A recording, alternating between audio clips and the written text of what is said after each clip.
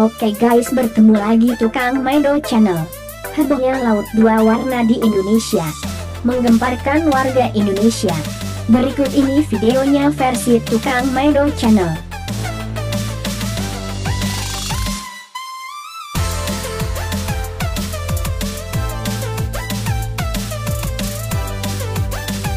Fenomena alam dua warna air laut atau halokline terjadi di Muara Pelabuhan Kelurahan Mandaran, Kecamatan Panggung Rejo, Pasuruan, Jawa Timur sejauh belasan mil, terlihat pada Kamis.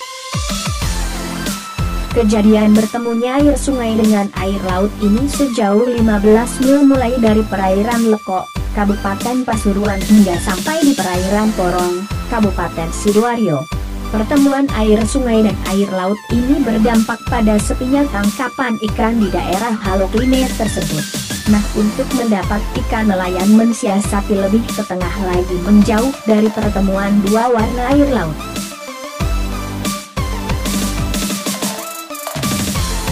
Kejadian bertemunya air sungai dengan air laut ini sejauh 15 mil mulai dari perairan Lekok, Kabupaten Pasuruan hingga sampai di perairan Porong, Kabupaten Sidoarjo. Pertemuan air sungai dan air laut ini berdampak pada sepinya tangkapan ikan di daerah Halokline tersebut. Nah untuk mendapat ikan nelayan mensiasati lebih ke tengah lagi menjauh dari pertemuan dua warna air laut. Kamil salah satu warga kampung nelayan kota Pasuruan menyebutnya fenomena ini dengan sebutan laut berlapis di mana laut terbelah antara air keruh bercampur dengan air laut.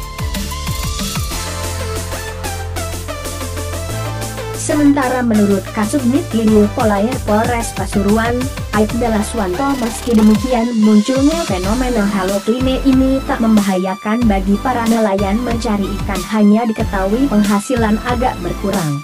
Fenomena halokline terjadi hampir setiap tahun disebabkan adanya aliran air sungai di wilayah Pasuruan berjumlah tujuh muara mengalir ke laut bertemu dengan air laut.